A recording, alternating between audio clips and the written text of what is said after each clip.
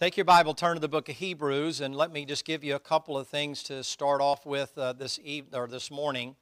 And I'll try to get as far along here as I can to try to give you some practical things. Now we've been talking about the flesh and the spirit, and walking in the flesh. So you don't, flesh, you don't uh, do what the spirit wants you to do, or you walk in the spirit. That's a, uh, you know, don't do what the flesh wants you to do. That's this constant struggle that never goes away that won't go away until they either put you in the ground uh, with death or until the rapture happens. You're always going to struggle against your flesh. The Apostle Paul says in Romans chapter number 7, he said, The things I should do. Now, good night, Paul. I mean, if, if there was a great apostle, if there was a great preacher, if there was a great pattern to follow, it would have been Paul. Paul said, The things I should do, I don't. And the things I shouldn't. Well, I wonder what that shouldn't is for Paul. I mean, is it disobeying the Lord because he wants to go to his people and winds up getting a shipwrecked or whatever it would be? I don't know what the things are that shouldn't. They're probably not the things I shouldn't do. But Paul said, The things I shouldn't do, that I do. He said, I've learned that in me dwelleth no good thing. Well, wait a minute, Paul. You're a saved man. You're born again. You're going to heaven. You're our apostle. We're to follow you and as you follow Jesus Christ. And you give us the things in the Bible and the Pauline epistles to follow you, not just the prison epistles. And, and so he goes through all of that stuff there. What do you mean, Paul, the, the things you're struggling with? Paul said, I know that in me, that is in my flesh, dwelleth no good thing. You say, what is that? That is in my flesh. Your flesh is at enmity with God. You might get it under control for 15 minutes. You might get it handcuffed. You might get all the zip ties on them, and you might get them stuffed in the car. And then they'll whimper and it'll whine and it'll complain and it'll moan and it'll groan, and you'll have pity on it. And the second you turn it loose, it'll run off on you. and then you spend all your time trying to grab it, capture it, and bring it back in, and get it back under control. And you're like, okay, Lord, I got it. I got it. I got it. I've got it. I got it. I'll never do this again. Well, in Hebrews 12, you find out that every Christian runs a race. Most Christians don't run a race to win it. Most Christians' attitude is, is that, well, I'm not going to win, place, or show, so why bother? Well, you've got to make an effort to try to win it. You have two things in the passage there before you, before I go back over this real quick, and that is number one, you're supposed to run to win, and number two, you stay in your own lane. Your race is not somebody, you're not racing the brethren. So the mistake that a lot of people can make oftentimes when we talk about the flesh and the spirit is is that whatever disciplines you're trying to employ in your life to keep you on more spiritually minded may not be the same disciplines across the board for other people. It's not your business to try to tell somebody else what they should or shouldn't be doing. It's your job to run your race, stay in your lane. But he said that we all have the sin which just so easily beset us, but there's a weight that's there also. And that weight is not a sinful thing. It'll be likened unto a secret fault, but it is a weight that prevents you from running like you ought to run. Now, what I put up here before you yesterday was just something that I've used over a period of time. This comes back from the days of when we had our SWAT meetings and after action reports and all the other kind of things, or we had special uh, units that we had to do, a gang unit and some things that I was in charge of. And so, after we had an operation, we would sit down and have an after action report. Your preacher just had an after action report. It would have been easier for him to just cut to the chase. I should have listened to my wife, and we wouldn't have had the mess in my van right now. But he made it so spiritual. You know, I was just, I was taking the test to see whether or not I was really, you know, it, it, I mean, he'd have just been better off to go, she was right, I was wrong, okay, let's move forward. And he made a, you know, a, a, a, a he made a public confession, and we appreciate that. I thought I was Catholic there for just a second, and you know that kind of a thing. It's okay, you've been absolved and all that, but go go clean your car out, you know. But now here's the thing: for me, this works because this is how my mind works. You may not work for you. But if I don't have something to go by, in other words, if I don't have a plan, if I don't have a routine, I will generally fall out of that routine until that routine becomes a part of what I am, what I do on a regular basis. I'm not going to be able to get to it today. I wanted to. Habits are good things or bad things. Habits are good things. It's good to have a habit. For me in the morning, it's better for me to read my Bible before I do school, before I do anything else going on. Get up in the morning and get a cup of coffee and do the reading. You say, well, why? Because the day tends to get busy. Whether it's a travel day for me or not, I need to get that done right away because things begin to interrupt that routine. And then before long, it gets to the end of the week, and even though I may be preaching, I still need to be reading, right? I mean, I got a congregation of people, they're like little teeth and eyeballs. When they come to church services, they have these little napkins around there and they got a knife and a fork and their eyes are about this big. And they're like, eh, We're going to eat something, so if you don't feed us, we'll eat you. And they know the Bible, so, so, I, so I have to really, I mean, I got to read to stay ahead of them just to try to keep up. And that's a blessing to have a congregation. You say, Why? It kind of pushes you a little bit it makes you realize you, you can't lay down and rest too much. Now, what I gave you yesterday was just something that works for me. There's some biblical references that I gave you to those things, but that's sort of a pattern that I follow. And the things at the beginning of those things, that never goes away. For me, there is always a need for there to be, why did I do what I did? It may not always be this situation when Paul says, examine yourself to see whether or not you be in the faith. There's not always an examination of, did I sin yesterday? Did I watch something? Did I say something? Did I do something when that idiot pulled out in front of me and made me spill the chicken pot everywhere? And did I get bitter at my wife because she was right and I was wrong? And I'm going to use that throughout the day here just a little bit. She's taking real good care of me, brother, so I know where my bread's buttered. So. But sometimes that examination is not sin. Sometimes the examination is the motive. So 1 Corinthians chapter number 3 and 2 Corinthians chapter number 5 deals with the judgment seat of Christ. Every man's work will be tried to see of what sort it is. 1 Corinthians 3 wood, hay, stubble, gold, silver, precious stones. What's the motive behind why I did what I did? Was it for recognition? Was it for appreciation? Was it because I love the Lord? Was there some other motivation to it? This part of the process doesn't go away. Why did you do that? It's always a good thing to find out why you did it. Now, sometimes I'll be completely honest with you, and I don't think it's sinful to do it. Sometimes I read my Bible out of duty.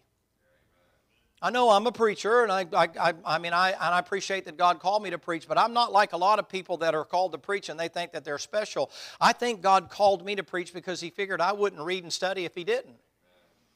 I don't think I'm going to get all these rewards up there because I was a preacher. I think the Lord looked down and saw a stinking paraplegic cripple that was mentally deficient and said, you know what, if I don't call him to preach, he probably won't go to church. I don't think I'm better than somebody else. I, you know, if you want to boil it down, one guy told me one time, and it's the truth. You know what he said? He said, Well, if you didn't get paid to come to church, would you come to church? I said, I don't know. That's a good question. I mean, would I be there every Sunday? Would I be there every Wednesday? Don't tell me you haven't thought that. Well, if they paid me to come to church, I would come to church, you know. Y'all got the rough end of the deal. You have to sit there and listen to us up here. Some of us dry as cracker juice, and you have to sit there and listen to us. I don't, I don't blame you. It's kind of like, well, yeah, if I got paid, I could get up there and shoot my mouth off for a couple hours. What's be the big deal, right? So I don't, I don't think it, I don't see it the way that a lot of other people see it, that there's something special about me. It's God looking down at me and thinking to himself, maybe because of my dad being such a good man or whatever, maybe some of the friends I've had, and the Lord said, you know what, I guess I'll just better call that guy to preach or he'll just be a soup sandwich. He might be a drunk, he might be a drug addict, he might be out in the world or whatever. I don't know where I'd be without the Lord. But I've learned this now that I'm serving the Lord, I can't just go into neutral. This is for me now. What I have to do is I have to constantly keep myself on the edge of things. I have to constantly keep making myself, in a sense, go to the gym. I have to go. If I take one day off, it'll go into two. And if I take two days off, and before it'll be only four. And if I take four days off, then you know what will wind up happening? I won't have gone for over a week.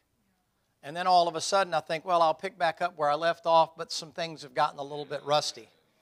So, one of the things that I want you to recognize is it's not an intent to jam anything down your throat, but I do know that this does work. The second thing of this whole thing that's there is, is that once I'm starting to apply things like I'm supposed to, I'll get to Hebrews 12 in a minute, run the race, there's training that's involved before you're ready to run the race. You're not going to go run a marathon tomorrow. I'm sure they have the 5K runs or the whatever runs for breast cancer or the runs for, you know, whatever else they're trying to raise money for and things like that. And so if you're going to run that or if you're going to run a marathon or a half marathon or something, you don't just wake up one morning and go, oh, today's the race. You know, I, I think I'll go get my t-shirt and stuff and I'll go run. You, you won't make it a mile. You'll have blisters on your feet. Your back will be hurting. Your knees will be aching. A rescue will be driving you to the finish line. It takes training. It takes time. Training is monotonous. Training doesn't make sense unless you have a goal in mind. You have to have a purpose for what you're doing. God made you for a purpose. He has a reason for you to be here. And it's more than just sit like a bump on a log in a church somewhere. I don't mean to be hard on you, but at some point, with all the Bible that you Bible believers have, are you ever going to do anything? I mean, besides just try to keep yourself straight and try to control everybody else, are you ever going to do anything? You ever going to try to win somebody to the Lord? You ever going to try to disciple somebody? You going to ever try to teach somebody the things that you have been taught? Are you ever going to put that ahead of yourself and what you want to do? You ever going to get the proper order to things? At some point, that's the reason we train. We train not only to keep ourselves clean when the pressure's on, but we also train with a purpose. We're trying to win a race here. I don't know about you. I'd like to have a little bit of gold. It might only be the size of my wedding band. It may not be much, but at least I like to have a little something. But, but if I don't have that in mind, why I'm doing it, guess what? I'm probably not going to do it. It just doesn't happen naturally. You can't get it by osmosis. So I do the examination on a regular basis. I do the application. That's training for me. That's for the practice and stuff like that. That's down here when it comes to continuation. And the separation generally will take care of itself. But once I'm separated from certain things, I can't decide to walk back up there close to the edge of that thing and look. I put it set a perimeter. I just read a little bit of a book last night. The individual in that book uses walls, for example. So you can make a wall or you can make an example of that separation. But once you do that, here's the danger. In the book of Nehemiah, what you may not recognize or realize is, is that the first thing that Nehemiah did after the wall is built, they've allowed them to encroach inside there. And so he's kicked everybody out, and they're not supposed to be doing things on Sunday. Saturday was the Sabbath day, but for us it would be a Sunday, right? You knew that, right? No business, no nothing. It's the Sabbath day, keep it holy, etc. You know what begins to happen? They begin to start doing commerce on Saturday and they begin to go outside the wall and do commerce with the people outside the wall. And then before long, they're saying it's such a long way to get out there. Why don't we move them inside the wall? Now, keep them next to the wall, but move them inside the wall. So now all of a sudden, Saturday becomes a regular commerce day just like any other day. It's a good day for soccer, good day for football, good day for baseball, basketball, good day for fishing, good day for hunting, good day for sleeping, good day for whatever. Doesn't, doesn't matter. It's just a day. It's just inside the wall, though. Still, you're still not right at the temple. And before long, there's a man there by the name of Tobiah. His name means wolf. And so what happens is he comes in and he gets with the priest. He begins to have com- uh, communion with him, conversation with him, sit down and have coffee with him, and begin to spend time. And they begin to kind of relate, kind of like Saul did with Agag. Saul's like, hey, he's a king, I'm a king, and I know the Lord said kill him, but if they understood the stresses of a king, they probably wouldn't be doing that. You remember the story there? And then when Samuel shows up, he said, hey, did you hew Agag to pieces? He said, oh, well, no, I, I can't. I got him on a chain, though. Is that what the Lord told you to do with him? Do you ever think about that? Do you ever recognize, do you ever realize that the Lord told him to eliminate Agag for a reason? Because he knew if he left Agag there on a chain, that it wouldn't be long before Agag would be influencing Saul's kingdom, which was supposed to be run by the way the Lord was done. So you know what the Lord said? I want them all destroyed. He did the same thing Achan did. He just took a little bit for himself. He took the best, and you know how that story goes. Well, in Nehemiah, before long, guess what happens? Tobiah is sitting down and he's talking with the chief priest there in the temple, and he strikes a deal with him and he says, Listen, here's what we need to do. I need some room a, and place inside. I can help you control all the commerce in here. So here's what I need for you to do. I need for you to uh, give me a place to stay. And the priest says, Well, the only place I got to stay is the temple. And he goes, Okay. So he goes into the temple and he looks around and he said, Well, I could probably stay in here, but all that stuff's got to go. I mean, the stuff that's for the priest and the stuff that's for the singers and the stuff that's for the rest of the Levites and the stuff that's to take care of the temple, that stuff needs to get out of here because I got my own stuff to bring in here. And before long, guess what happens? Tobiah moves in, and when Tobiah moves in, he takes the things of God out and moves his stuff in. It happened when they allowed the perimeter to be encroached upon, the wall. There was a gate, there was a door they were able to start coming in. They're just, they're just good people. I mean, you know, they're, they're nice. And I, I, I go down and I buy fish and chicken from them. And I get my, my gummy bears from them. And I, I get, you know, my, my hay and I get my feed and I get whatever you get down at the store. And I've gotten to know them and all that kind of stuff. And, oh, well, you know what? You just said a whole bunch to them when you go down there and buy from them on Saturday. That's the Sabbath day. Your testimony's already ruined because you're down there having commerce with them. And before long, you know, he's my friend. I'll put in a word for you. Nehemiah, you know, he can be kind of harsh a little bit sometimes. I mean, you know, he gets a little rough sometimes. He's kind of kind of crazy about that kind of stuff. I'll see if I can put in a word for you. They go to the priest. The priest says, ah, let him come on inside. But now you've got to keep him by the wall now. You keep him by the wall. But go ahead and let him in the city. You got a breach of your perimeter. And when you have a breach in your perimeter, you know what happens? The focal point becomes the breach in the perimeter. And before long, guess what happens? The chief cook and bottle washer moves into your temple. And he can't move in that temple unless he moves God's stuff out. And then before long, Nehemiah shows up and says, What in the cat hair is this boy doing in God's house? He don't belong here. Well, now, wait a minute, Nehemiah. He's a nice guy. We're trying to win him to the Lord. We're trying to get him right. We're trying to get him fixed up. And I realize he's a kind of a Catholic, charismatic, Church of Christ, uh, Muslim, and kind of everything all in there all together. And he's an LBGDQ, RSP, WXYZ, and, and those kind of things. But he's, he's such a man of the world, you know, and, and commerce has really picked up, and his political standing in the town has really picked up. And, and you know what? Our church attendance has improved so much since he's been coming here, and we've seen an increase in the offerings and so to me, it just made perfect sense. Nehemiah says, hey, wait a minute, where's God's stuff at? Oh, well, well, well, well, what do you mean? Where's God's stuff at to take care of the Levitical priest and the people that are tending to the temple? Where's God's stuff? Well, uh, uh, well, well, we had to move it out. You had to move it out. Yeah. You know what he does? You know the passage. You probably know it better than I do. You've read it probably 10 dozen times and you've been saved and you read your Bible every day, so you probably know it. But you know what happens? Nehemiah goes in there and grabs that old wolf by the nape of the neck and takes him and throws him outside the city and throws all the people with commerce outside the city. And then he closes it and he sets up uh, guards over those things. And he says, first of all, he took the place of God in the temple and we're going to replace and restore the worship in the first place that ought to be there, like Ezra said it should be. And second of all, we're going to set a guard so they don't come back in here. And you're not doing that anymore. And he grabs him by the hair of the head and smacks him around. And then he even gets into you say, What happened? They had started mixing and mingling with the wrong people.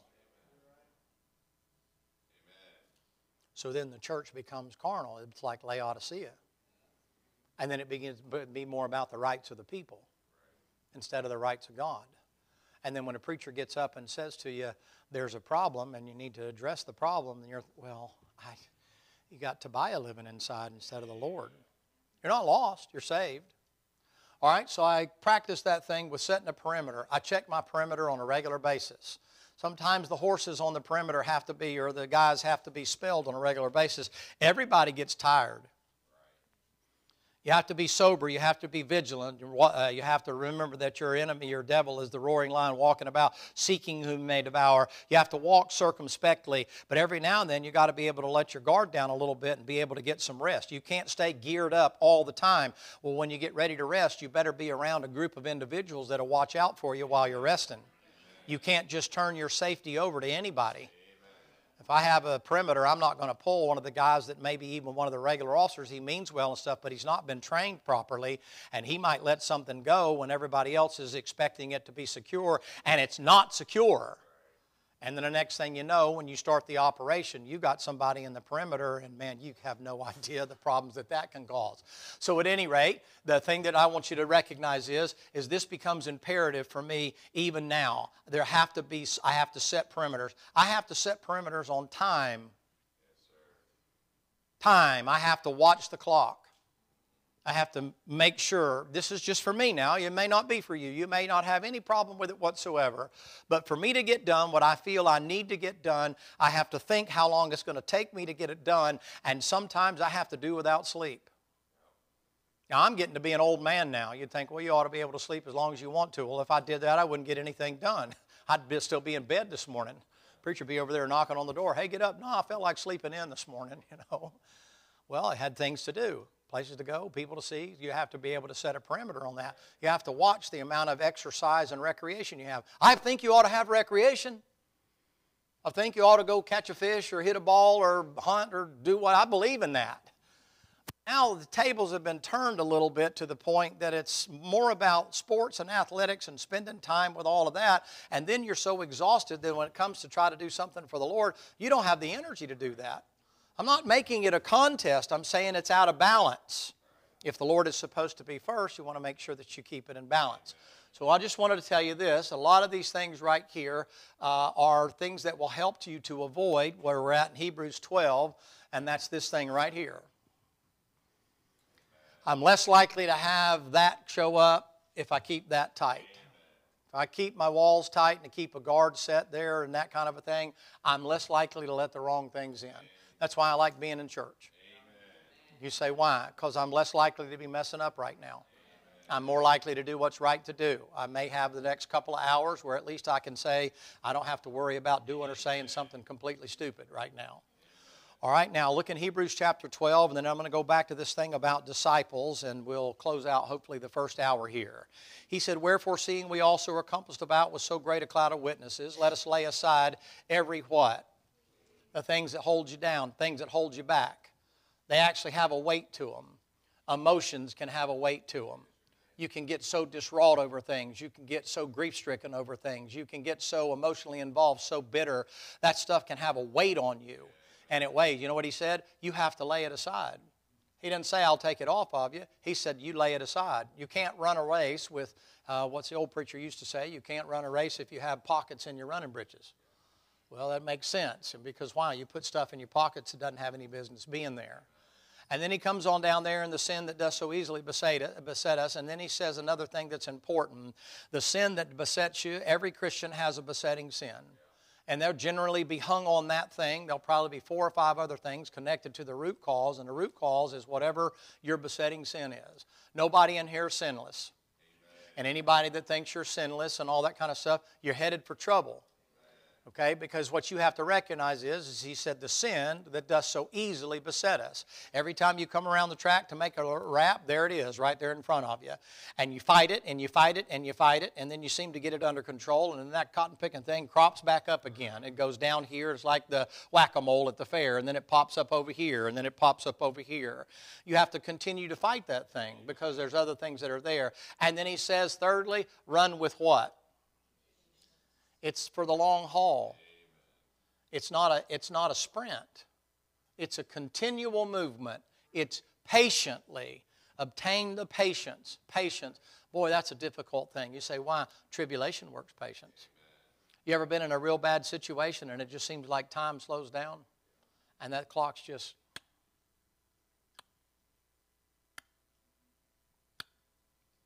And they're having a good time at something like that, and the clock's going time's up, you know.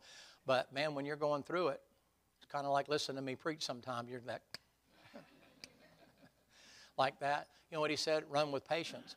That means don't expect to be winning the race. You're not going to win today. You're running today. What are you going to do? Same thing you're going to do tomorrow. Same thing you did yesterday. I'm just running, just running, just running, just practicing. That's all I'm doing. Now he comes down to an important part. I'm going to give you a few verses on this, and then I want to move on to this thing uh, when it comes to that because he's going to give you a secret to be able to finish the faith. Looking unto Jesus, the author and finisher of our faith. You say, why? You run with a goal in mind. Paul said, I press toward the mark and the high calling of God. Paul says, I fight not as one that beateth the air, but one that so as to win the prize. I keep my body in subjection, therefore I find myself to not be a castaway. That's in over in, in nine, chapter nine there of 1 Corinthians. Now, what he's saying there is, is that when you run, you're doing it to please Jesus. You're not doing it to please each other. You're doing it to make sure that you're running to try to look like him. And then he's going to show you how the Lord did it. The Lord goes up to Calvary's cross. He said, Consider him. Think about him. Consider what he did. He endured such contradiction, the sinners, uh, against himself, lest he be wearied and faint in your minds. In other words, if you look at Jesus and realize what he went through, it'll help you go through whatever you're going through. That Bible says that he, for the joy that was set before him, he endured the cross. Gives you this impression. The impression he gives you is, is that the Lord saw way over on the other side, way down there to the millennium, way down there to getting everything the way it's supposed to be, and out in eternity. And that gave him joy. But the present moment, don't get the idea he was joyful going to the cross. He was weighed down going to the cross. As a matter of fact, in Gethsemane, the Bible said he sweat great drops of blood. That's called hematidrosis, but the, the, the, that's a clinical name for it. But what that means is, is he's under such agony and such stress. The Bible says being in an agony that he was crying out. And he said, Father, is there any way this cup can pass from me? Don't get this idea that the Lord's in the garden going, Ain't this great? Man, this is really wonderful. I can't wait to be beaten and made fun of and laughed at and spit on by my creation. And not only that, to have their sin put on me and have my Father turn his back. Isn't this joyful? No, you got it out of balance. This is where a lot of Christians get real, real whacked out. They get kind of messed up. It's like somebody just died and you're supposed to be, well, you know, the joy of the Lord is our strength. Probably not a good verse. It doesn't, it's not a good time to 828 somebody, right? The baby just died. The loved one just died. The person's in the hospital. They just got diagnosed with a, a bad disease. And it's always the one that's well, that hadn't been through anything, that runs in there to say, Well, we know all things work together for good. Them love God, them are called according to his purpose okay, I'll trade places with you. You get on your back in this bed, and you do not know how certain your future is, and you worry about your wife and your kids and all the other things going on, and whether the church is going to go on, and whether your kids are going to get out of school, and the kid that's gone prodigal, and all that kind of stuff. And then I'll come in here and give you that kind of comfort, okay? you can't comfort nobody with that kind of stuff. You know what you do? You recognize that that time is for a season. Joy comes in the morning. You say, when's the morning? Sometimes the morning's a long way off. I want to give you the impression that it's this idea that I have this joy. I know the joy of the Lord is our strength. I understand that. I know because you haven't served the Lord thy God with joy and gladness of heart that the devil puts a yoke of iron on your neck. I understand all of that stuff. But you got to rightly divide, even up to and including when you apply those verses. You put undue pressure on yourself when you think you're supposed to be happy when you've got the virus thing or a flu and you got 104 temperature and the devil comes up to you and goes, "Where's your joy? Where's your joy? Why aren't you happy? You should be happy." You know, and you're kind of thinking, "Man, I can't even remember a verse of scripture right now. I'm doing good to remember Jesus wept." And, you know, you ever talk to somebody that's trying to take care of an individual that's an invalid and things? They didn't plan that life. And now all of a sudden they're changing diapers of their parent. And you say, Well, what's the matter with you? Are you depressed? No, I'm just weighted down. I'm just burdened. Phone rings at 3 o'clock in the morning. You need to get over here. He fell. He's all tore up. He's ripped up. You gotta, you gotta come over here. We're gonna have to go to the hospital. He's acting out of his mind. He's throwing his wheelchair at people or his walker at people. You better get over here right away. Oh, we're sorry to bother you. I know it's early in the morning, but he fell. He's got a big gash. We got to take him to the hospital. Go over and spend all night at the hospital. Then they send him back after running the test and they give you the bill and put him back in there. And by the way, we need some more diapers for him, and he doesn't have a lotion, and he put his teeth in upside down, and he about choked to death during the night, and he's out wandering the halls in the middle of the nighttime and that kind of a stuff, and we can't get him under control and that kind of a deal. And oh, where's the joy of the Lord on Sunday morning? Well, I was up all Saturday night. Do you see what I'm saying? I'm not, I promise you, I'm not getting on to you. I'm trying to get you to get a balance. People have lives. Listen, folks, the fact of the matter is, whether you should or shouldn't be afraid, the fact of the matter is, when people get the virus, they get scared. They presented an image to you when this first thing first started that if you got it, you died.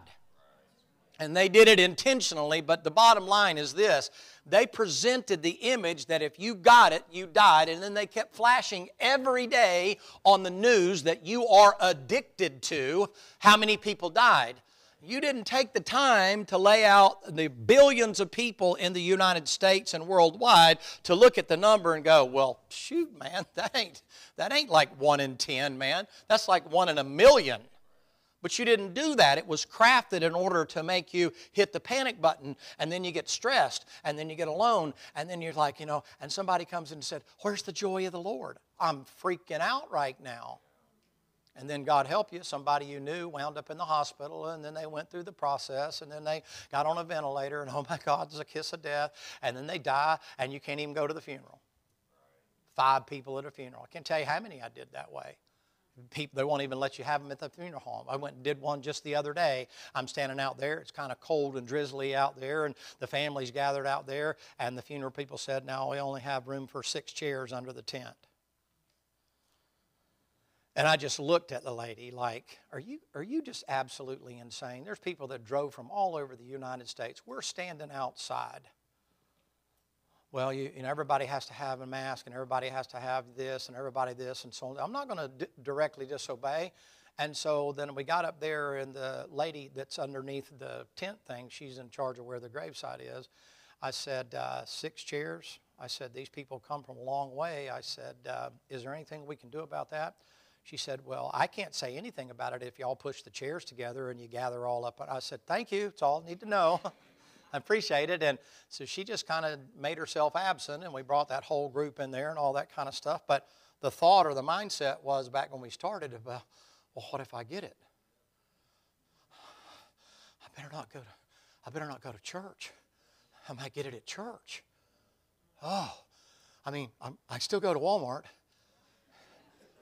Still go to my favorite restaurant because you know those the virus is smart. It knows it don't jump past the edge of the table, right? But I, I better not go to church. I mean, what am, what am I going to? And so the next thing you know what happens?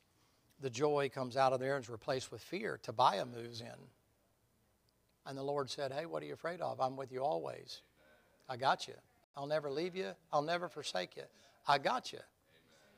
You ought to take some consolation in that, Christian. You ought to put yourself in the position of your pastor.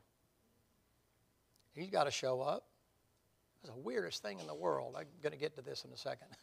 And we first started that thing, and they told us five people, and I know the sheriff and all the other stuff in uh, my town, and that kind of a deal. And I called him up, and he said, "Well, they're kind of clamping down from up to upstairs, and we'll see how it goes and all." So we started out in five people in the church there. I'm preaching to empty pews, putting it out over the the thing, the whatever you call that and people are at home watching that stuff and they want to be at church and the law said you can't come to church and you can't have the gathering everybody's like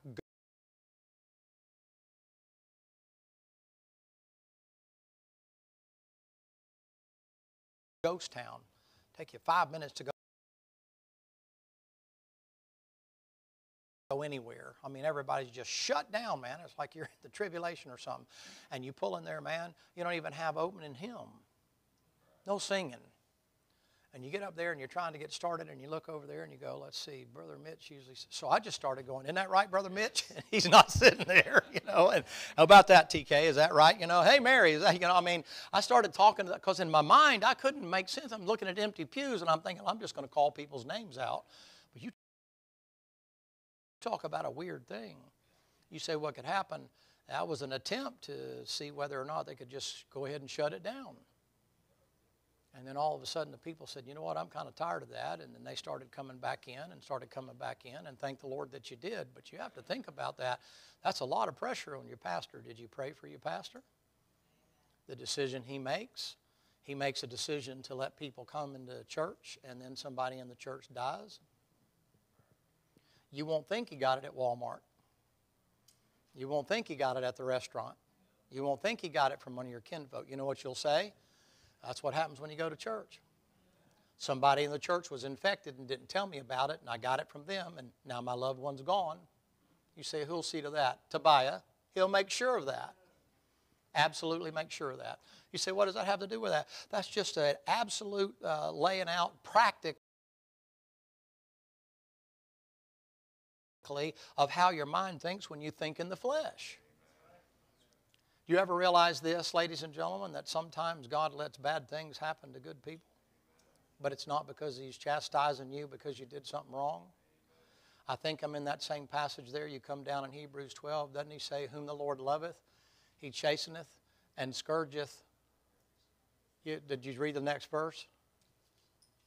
He didn't just say the ones that are disobedient.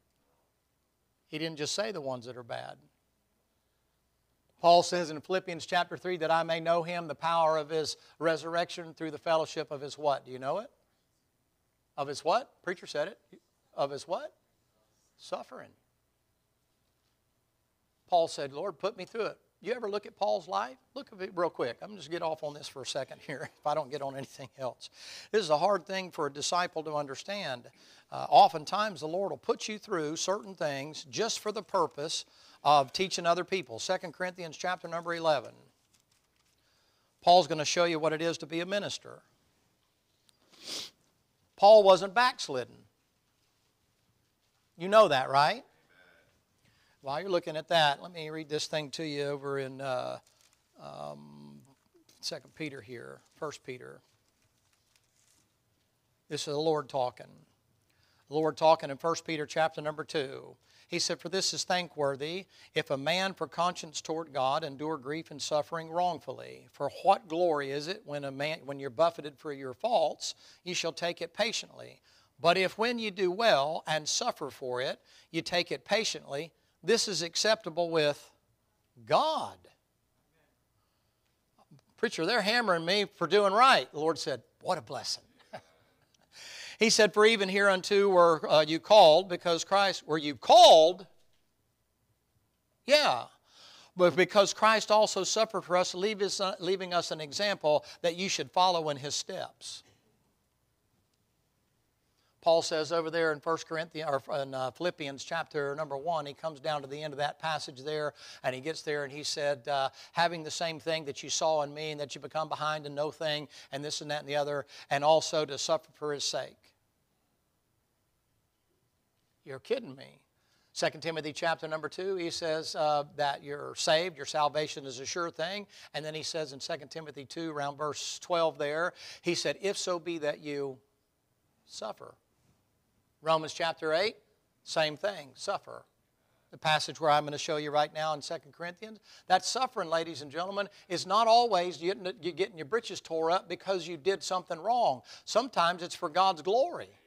Sometimes it's for your good so that you can be an edification to other people. 2 Corinthians chapter number 1. So when they go through trouble, you can help them get through the trouble. And that's the Lord rewarding you for having put you through something so you can help somebody else. The Lord rewards you doubly. One, for letting Him put you through it without you griping, moaning, and complaining. And two, for then using what you've been through to help somebody else to get through what they're getting through.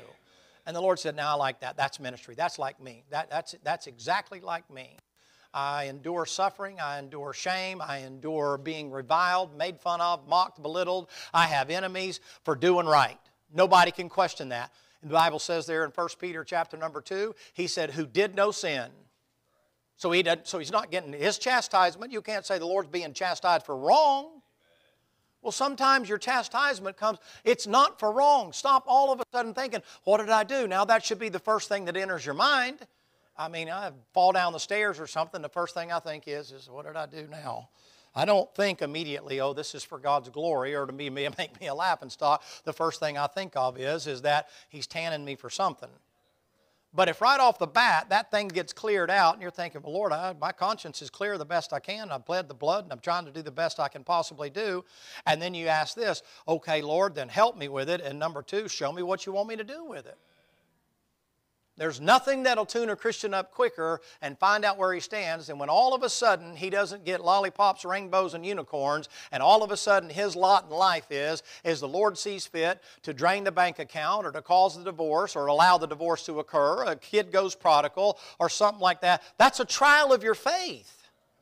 That shows whether you're spiritual or not. Can you see into eternity? If you can't look into eternity, this life will make no sense to you at all. The only way a Christian can make sense of anything is to look at the author and finisher of our faith. Look out there in eternity. Look where it's going to end. That's the key that he's given you in Hebrews. He's saying, listen, suffering's going to come. The way you endure that is look past what you're going through now and see way out there. Man, I'm going to be in eternity one day. I'm going to have a mind like Christ. I'm going to have a body like Christ. I'm going to never sin again. I'm going to never hurt again. I'm going to always be in the perfect will of God. I'm going to be the bride of Christ. I'm going to be doing what He wants me to do. I'll never have another concern. I'll never have another worry. I'll never have any of the things that bother me now. Boy, hallelujah. And you look at that and you're like, okay, well, this trial is but for a moment. I, I'm, I'm, I'm okay. Well, how are you doing? In, endure. And I hate to tell you what I'm about to tell you before I show you this, but if Paul's the pattern right before he goes, gets his head cut off. And then he says, you know, that he's finished his course and kept the faith, and henceforth laid me a crown of righteousness for all those that love his appearing. He's kind of saying to you right at the end, a Christian, you may have some increased persecution. I hate to tell you, it's going to get worse for Christians. You don't have to fall away like everybody says in the Bible will fall away. You don't have to be one of those that falls away. But you do have to recognize if Paul's the pattern, it's not going to be rainbows, roses, and unicorns tomorrow. You may wake up to a cloudy, storm filled sky tomorrow. Look, the towers came down, right? Whatever you think, it's a towel head that did it, or whether you think it was a conspiracy from out of Texas. I, I don't really care. When the towers fell, the righteous and the unrighteous went down, the saved and the unsaved went down. You got to recognize when the Pentagon was hit, there's actually a few saved people there. They died just like everybody else did. And for Christians, you know what's going to happen? We're going to have Christians that are going to die from the virus or whatever you want to call that. We're going to have Christians that are in automobile accidents. We're going to have Christians that wind up getting killed in war. You're not insulated. If anything, you don't you're running through life without a bulletproof vest on. You're going to become the first target. You say, why? There's a demonic entity behind that, and you are his enemy because you're God's friend. There's more to it than just, you know, I don't know what the law's trying to do to me. It ain't the law, it's the devil. Doesn't he say that? We wrestle not against flesh and blood. No, it's the government. It's the, it's the government. It's, it's a guy in the outhouse up there. I, I know who it is. I know you Southerners. You ready to grab the flag and charge the White House. And the Lord's like, Would you give me a break? My kingdom's not of this world. If it were so, I'd fight for it and I'd take it, I'd whoop you with one hand tied behind me. I'm not here to ride the path of the second advent now. I'm here to die. Not so, Lord, said the independent Baptist Peter. You're not going to die, Lord. You're not going to Calvary, Lord. No, sir, Lord. You know what the Lord said? Get thee behind me, Satan. I'm not here to preserve my life. And Christians have got in this self preservation mode and not just preferring to, to, to preserve their own uh, uh, uh, uh, monetary or, or, or, or material things, to preserve their life. The Lord came down, you know what He said? I came to die. You know what He said to the shepherds out there? He said, uh, the angel appeared up to him and He said, You shall find the babe wrapped in swaddling clothes and lying in a manger. Swaddling clothes, grave clothes. He came down here in his mind when he was in a womb of a virgin, he was God in the flesh. In that womb. You know what he came down here for? When he left just a few days before, he came down here as God. You know what he said? I'm going to die. 33 years he was completed living all the life he needed to live because he came down here not for the purpose of living a life on the earth, but to die. Now, I realize I sound like an apostate right now, and some of you are real nervous because you're fulfilling the Bible where he says in Job, skin for skin, all the man hath, he'll give for his life. You can't hear what I'm saying unless you're listening in the Spirit because it don't make any sense to your flesh. Your flesh is self-preserving. It wants to preserve it. It wants its rights. And I'm telling you now, what happens is, is all of a sudden you get preachers that get all caught up in politics, they get all caught up in prejudice and personal opinions. That doesn't help anybody. All that does is landlock you.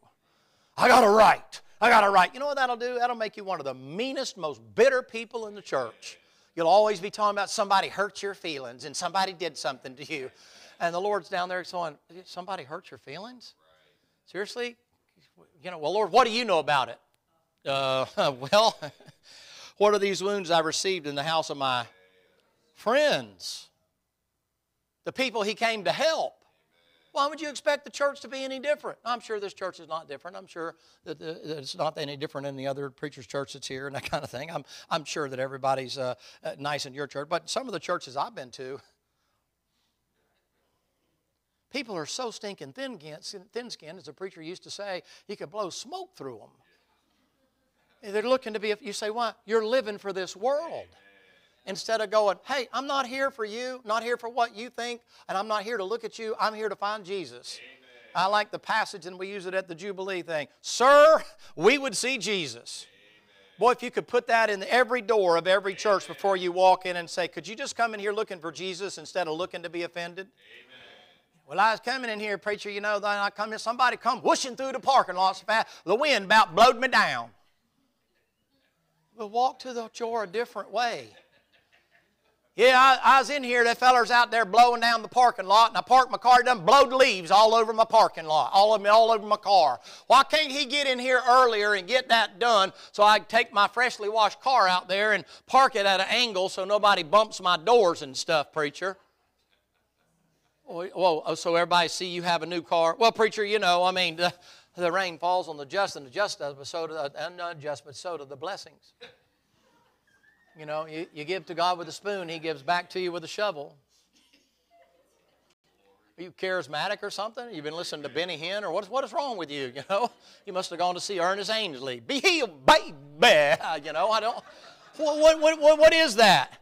I got a guy that comes after work. He's got a blower out there. He's blowing the parking lot so that when people come, it looks nice. And he doesn't blow leaves all over my car. I just washed it. Washed it. That's the South. W A R S H E. Washed. I didn't wash it today. I said to him, I said, Sir, did you wash it? He goes, Yeah. I said, You got out there with a rag and a bucket and washed it. He goes, Well, I mean, I, I, well, I mean, I drove it through the wash. I, I, that's, I, I mean, I get, I'm thinking, man, you know what? Why don't you just go on to the house? because if that ain't going to offend you, then you're going to trip over the threshold or something else going to. Now, now I'm sure you're not that way, but when a church gets carnally minded, that stuff spreads like cancer. And then before long, your eyes are off Jesus and everything else. And sometimes the Lord has to bring some suffering in your life to tone you down and to make you realize, you know something, hold on a minute. I've gotten a little carried away here with my own personal ideas. I guess I'm getting a little loud. I apologize. I'm, Y'all get me started. Either that or that coffee's kicking in one. I don't know. But folks, you, you have to understand the only way you can make sense of what we're doing at all is to see it from a spiritual perspective. You got to look way down there Amen. where we're going, not where you are now. It doesn't make sense. Now, here's something I'm going to tell you. Uh, here's, here's Paul, real quick. First or Second Corinthians chapter number 11. Give me about five minutes and then we'll take a short break. Uh, notice what he says. Of the Jews, five times received by 40 stripes, save one. That'll equate to 195 stripes Paul got. Not one time did the Apostle Paul, being I'm in 2 Corinthians 11, I'm in verse number uh, 24. He said, I'm a minister of Christ. Isn't that what he said? Now watch him. He's going to tell you he's a minister. I got a big church. I run so many in Sunday school. I got a choir. I got special music. Uh, we got a giant building program. No, you know what Paul says? He said, Of the Jews five times received I 40 stripes, save one. Find for me where Paul was out of the will of God. Find for me where Paul was backslidden. Find for me where Paul, who the Lord says is our apostle, the apostle of the Gentiles, and he's our pattern to follow. Find for me where Paul's messed up and so the Lord's punishing him for it. He's not. He's an example, Colossians chapter number one, to fill up that which is behind. Notice what he says. Thrice was I beaten with rods, once a stone, suffered shipwreck day and a night in the deep journeyings often, perils of water, perils of robbers, perils of my own countrymen, perils of the heathen, perils of the wilderness, perils in the sea, perils of the false brethren, weariness, painfulness, watchings often, hunger, thirst, fastings often, cold, nakedness, besides those things that are without, which cometh upon me daily, the care of all the churches. Paul said, I'm a minister. The Lord said, Whom I love, I chasten and scourge every son, every son, every son, every son whom I receive. Sometimes that scourging comes in order to make you more spiritually minded instead of so earthly minded. You'd be surprised how quick all that money you've been putting up, like last night in the alabaster box, and putting it up and putting it up and saving it up for your retirement and saving it for the future and saving it all this, and all of a sudden you get a diagnosis and you're going to die in six months. You'd be surprised how quick things will change. You'd be surprised all of a sudden, you know, you get your back hurt or something happens to you and you were planning on retiring and, you know, going and fishing all the time or hunting all the time or traveling the world over and this and that and the other. And just like that, something happens to you and now you're thinking to yourself, man, I'm going to be in a wheelchair the rest of my life or on crutches or I'm going to have to walk around with some oxygen in my nose or whatever because I What's the Lord? Lord says, hey, listen, what if I take you tomorrow? I don't see anything wrong with having all your stuff. No problem at all. Have all you want as long as you have it and it doesn't have you. But you see, you're living in a day now where carnality has swept over the churches. You don't have to worry about the, the devil jumping in here and making you fool around with a Ouija board or rock and roll music. Most of you independent Baptists, your tendency will be to go the other way. You'll be religious. You'll be Pharisaical. You'll be, you know, touch not, taste not, handle not. Uh, make sure you wash your hands and don't eat the corn on Sunday and, and don't do this and don't do that. And you're doing that so that you can find out if other people are doing that. It sets you above them in the hierarchy. That's where your tendency will be. Both of them are out of balance. I believe in living a clean life. It's easy for me to do that. You understand, for 20 years, somebody told me everything to do. There was a rule or a regulation for everything I did. How to dress. How dare them? You had to wear your uniform a certain way. You had to wear your hair a certain way. You had to have your mustache cut a certain way. You had to choose your gun belt a certain everything. The brass on here, half inch from the side and quarter inch from this side, and has to be here and has to be facing this way and it has to follow the line. Gig line has to be straight, has to be in line with where your shirt is, comes down and buttons down, ties in with where your trousers zip up there, and the belt has to be there. The old days of the Sam Browne where you had a, a belt buckle here and the handcuffs on your weak side and the gun on this side, and we didn't have tasers in my day, man. You know, don't tase me, bro. That wasn't anything like that in my day. It was don't hit me, bro. Because, I mean, all you had was a stick that was made out of plastic or whatever that bounce off of them. And, of course, then you had to carry a flashlight with you in case, you know, even during the daytime, if you, if you, well, well, that's necessary. You may, you never know. You might have to run into a closet or a warehouse and there's no lights and you got to be able to see. And so, but sometimes you got, you got to do with whatever's, at any rate, statute of limitations. But at, but at any rate, they told me everything to do. And then you walk into church and the preacher says to you, you know what, you shouldn't be listening to that. Who's he to tell me? What? He's trying to help you. You shouldn't eat this, you shouldn't do that. Isn't that what you tell your kids? I, no, I guess not. I guess you live in here. No, I let them grow up and do whatever they want to do. I mean, you know, don't make any difference to me. Okay, well, see how that works out for you. Here's the point I'm trying to make. Sometimes the Lord says, you know what, I love you, so I'm going to chasten you. The issue is not whether or not he's right in chastening. The issue is, is my son despise not the chastening of the Lord, nor faint when thou art rebuked of it, or chastened. You know what he says? Don't despise it. God's trying to give you a reward and you can't even see it.